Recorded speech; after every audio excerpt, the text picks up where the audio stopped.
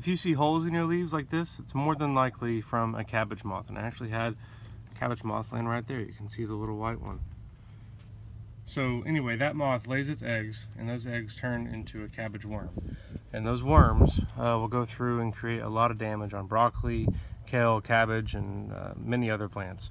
So this here is, it's ironic that he killed himself by landing on the, on the, anyway. So anyway, uh, so this is called BT, and uh, what it is is a naturally occurring bacteria that whenever a pest digests it, it, uh, it kills them uh, from the inside essentially. So it's only going to kill the insects that are eating your plants. So beneficial insects are not affected by this because they don't eat your plants.